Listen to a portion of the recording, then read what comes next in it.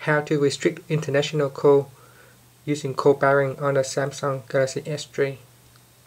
First, go back to your home screen and launch the phone app.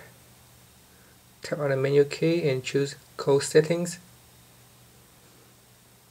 Now we'll scroll down the screen and tap on additional settings. Wait for your phone to read all the settings. Then tap on call barring select voice call.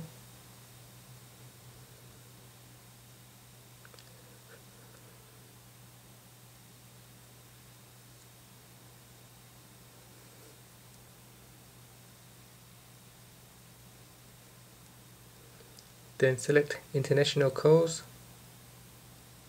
Put in the appropriate password. And tap on OK. Wait for your phone to update if you receive this error, this means your network provider doesn't allow you to uh, update the call barring through your phone. So you will need to call them up to um, uh, and request them to uh, put a call barring in place. Thank you for watching this video. Please subscribe to our channels for more video tutorials.